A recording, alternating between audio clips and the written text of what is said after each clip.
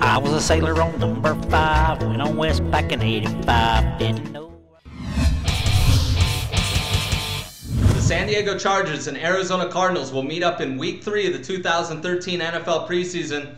This is across the board with Jeff Grant here at SBRForum.com. Saturday night's opening kickoff scheduled for 10 o'clock Eastern Time on the NFL Network from University of Phoenix Stadium.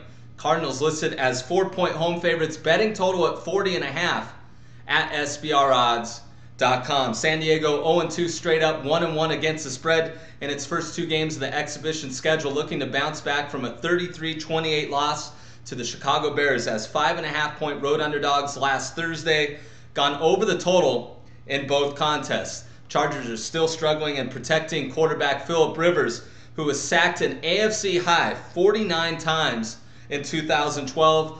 A lot of that depends on the left, ta- left tackle battle, that one featuring King Dunlap and Max Starks. While Rivers has little to no options in terms of the passing game downfield, as the wide receiver position has been hit hard by injuries during camp, and wide receiver number one option, Malcom Floyd, isn't likely available until the regular season opener.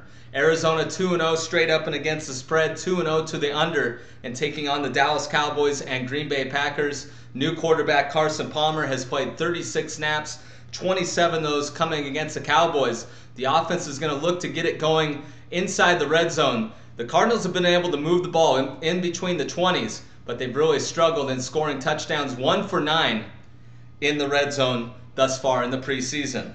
On the other side of the football, the defense has plenty of playmakers, forcing six turnovers against the Cowboys. Could be another one of those type of games against the Chargers offense that is prone to making mistakes, especially under first year head coach Mike McCoy.